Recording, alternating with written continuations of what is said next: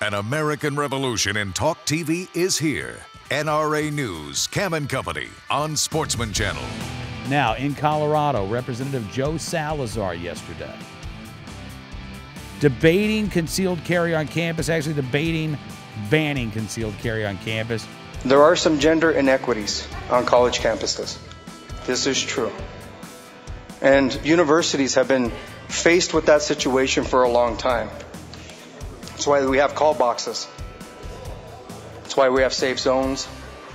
That's why we have the whistles. Because you just don't know who you're going to be shooting at. And you don't know if you feel like you're going to be raped, or if you feel like someone's been following you around, or if you feel like you're in trouble, and when you may actually not be, that you pop out that gun and you pop pop around at somebody.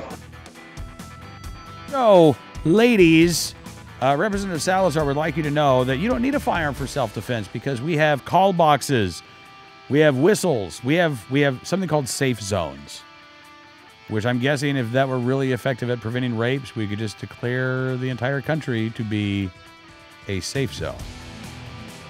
Representative Salazar is concerned, ladies, because you might feel like you're going to be sexually assaulted, but you're not really going to be sexually assaulted. And then you might just whip out your firearm and start shooting willy nilly because, you know, apparently that's just how you ladies are, according to uh, the representative. Now, he's apologized for this, for his inartful comments. But here's the thing I think at the end of the day, Representative Salazar really does believe that, that women are better off being unarmed than they are legally carrying a firearm for their protection.